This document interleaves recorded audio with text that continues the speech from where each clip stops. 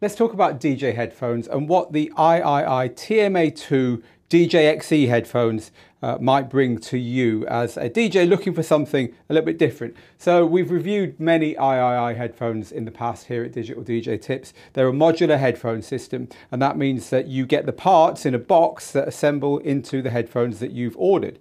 This is the TMA2 DJ XE. XE is their cheaper, lighter weight range as opposed to their heavier weight, more professional headphones. They have a studio version as well of the XE and kind of the pro ones. So this is the, the cheapest one. It's about 140 to buy these. So they are at the bottom end of what AIAIAI sells. That said, everything that AIAIAI stands for and everything that they do is present in these headphones. So the whole point is that you get all the parts and with the help of a trusty pair of scissors, you assemble what you ordered. Now, the benefit of this is that you can change the headphones as you go along. So either as parts kind of break or wear out or get damaged, or you decide that you want different drivers, you want to have some studio headphones. You can even buy the parts and change the headphones up as you go along. So you might settle on a headband, but have different uh, ear cups and so on, depending on what you want.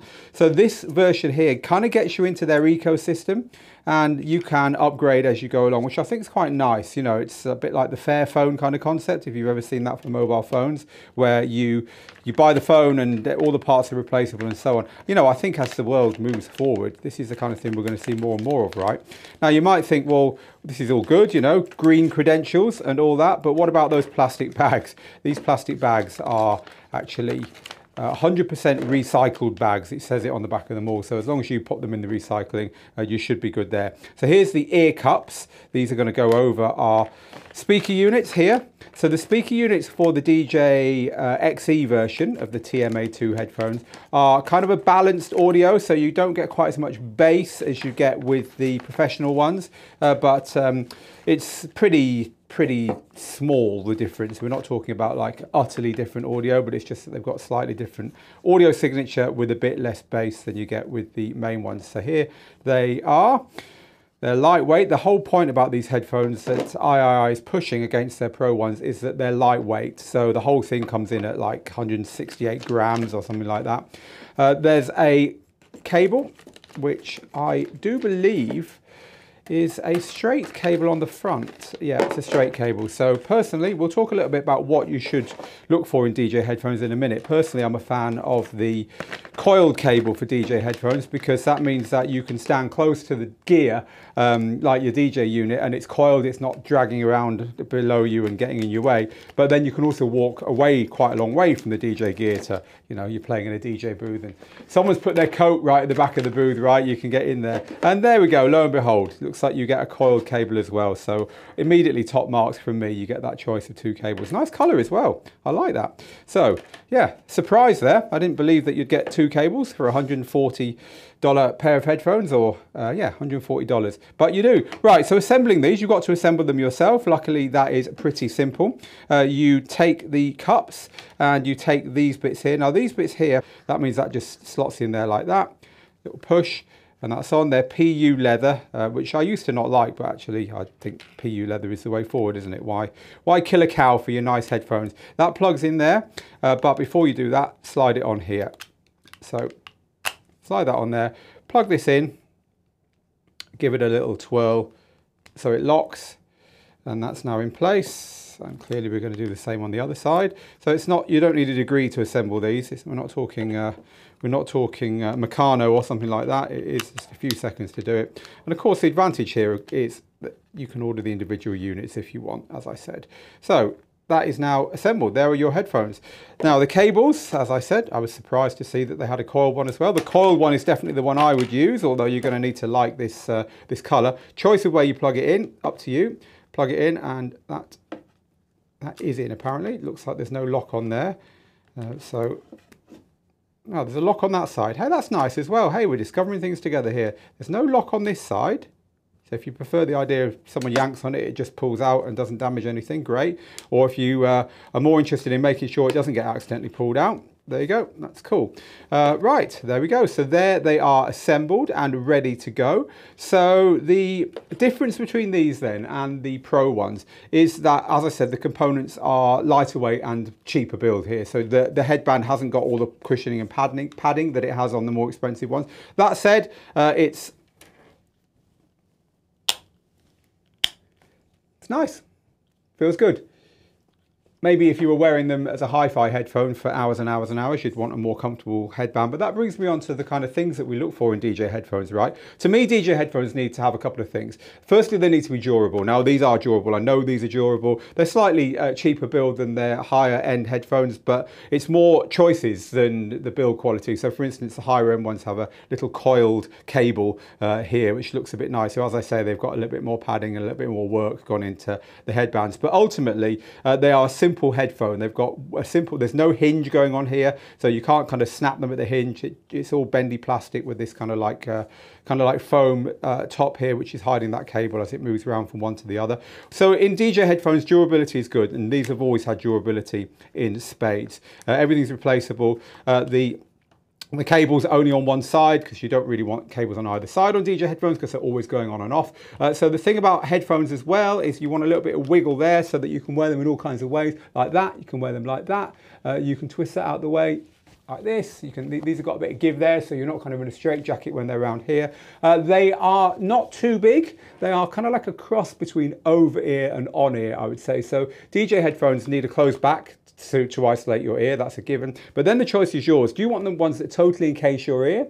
with the closed back and the padding, so it kind of locks the audio out that way? Or are you happy to have more pressure on your ear uh, and then again padding around the ear from this, but it's not like uh, on your head, it's actually still on your ear. That's kind of what these give you. They're not big enough, they're 40 millimeter drivers and uh, smaller ear cups than some of them. So they're not big enough to completely surround and not put any pressure on your ear. These put pressure on your ear. So I'd say these are a larger on-ear headphone rather than over-ear headphone. That choice is yours. The classic uh, headphone in this type is this one here, the Sennheiser HD25s. Uh, these have been around for decades and decades and decades and have hardly changed. And actually, you could say that these are a modern interpretation of these because these are modular. You can buy the parts for these as well. Uh, these are great. There's nothing broken about these. I've still got a pair of these that I use here in the production studio day in, day out. Uh, but these are um, a, maybe a trendier, nicer feel. These have got a kind of like more more built feel. These these feel really really minimal, like really minimal. These have got a slightly more you know a slightly more luxury aesthetic going on, but as you can see, it's still very very minimal. There's no AIAIAI logos or anything on these. They are um, apart from the fact that you get this uh, this luminous cable, which I didn't even know was in there. Uh, they are a pretty minimal headphone. So the other cable is a rubber covered straight cable. It's not so long that it's going to annoy you if you prefer the idea of this, or you just don't want to have a bright cable. Uh, dangling down from you. You think you look a bit silly with that. Obviously, I'm not bothered about bright things, uh, but you get that. Now also, not really that important nowadays, is it? You've got the um, adapters and they give you two. Again, I guess these are modular components, right? If you order one of these, you're going to expect to get an adapter. Maybe they should sell these separately so that you're not getting a big pile of adapters. We've got hundreds of them over there that you never use, but uh, not quite as important as they used to be because most DJ gear has got eighth inch adapters on it anyway. You're going to say, what do they sound like, Phil? Listen, as I say, I've auditioned loads and loads of these over the years. I know exactly what they sound like. They've got a more, I'd say a more balanced audio with a little bit less bass than the, the ones up in the range that are about $200, which are the uh, TMA2 DJ uh, not the DJ XE. The DJ is way more uh, and a bassier sound, uh, but either of them are going to be just fine for DJing because for instance the other one that I use a lot in the studio and if you're a regular here at the DJ Digital DJ Tips school you'll have seen me using them. These this is a Pioneer DJ uh, Q1 headphones which are actually very similar as well. They're a little bit bigger than these. They're a bit more traditional. They've got the traditional hinges and so on going on they've got the advantage that they fold up which these don't. Um, so these again are all you need in the DJ headphone. I don't think you need to spend much more than this. I mean these are cheaper than these for sure. These are a little bit somewhere in the middle, I think, about 125. So let's do a little impromptu roundup of these three, the Pioneer DJ uh, Q1s, the Sennheiser HD25s and the TMA to DJXE from AIAIAI. So not quite so modular. As you can see, these are all kinds of weird colors. That's because we've kind of pimped them up to digital DJ tips colors. Uh, that means you can buy cables and you can buy uh, extra pads for these, but you can't easily detach these, this area as you can with these two, for instance. So not modular, uh, perfectly good sound for DJing. Uh, they isolate your ears well. They've got decent clamp strength on your ears, which you need, otherwise it won't isolate well. Um, no problem with these, we've been using these for many years here. Detachable cable, uh, which has, curiously, just a little bit of coil on it. So it's hedging its bets there, mainly straight with a bit of coil. Uh, the HD25s are an absolute classic. They, you will see these if you've been knocking around DJing or uh, production or podcasting or whatever. They're just a classic. They are, um, they do what they do. They've been around for a long, long, long time. You can get spare parts for them. They're durable, very minimal. Some people don't like the very small ear cups and the feel of them on their ears. Uh, very, very lightweight.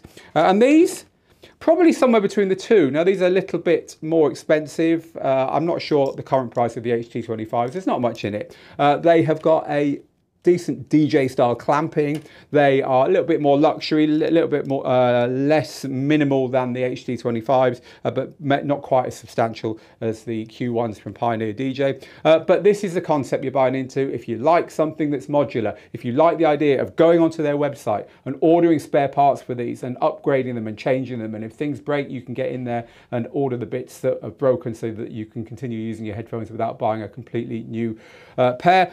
I think that's the biggest selling point here. And I think that if you uh, jump forward 10, 20 years, everything's going to be like this. So they're ahead of the game. TMA2 modular headphone system, lightweight, sound good. You can replace bits and pieces. If you like them, you know already. This has been another review here at Digital DJ Tips, the world's leading online DJ school. Hope it's helpful. And if you've got any questions, ask underneath. Till next time, get good, get out there and make the moments.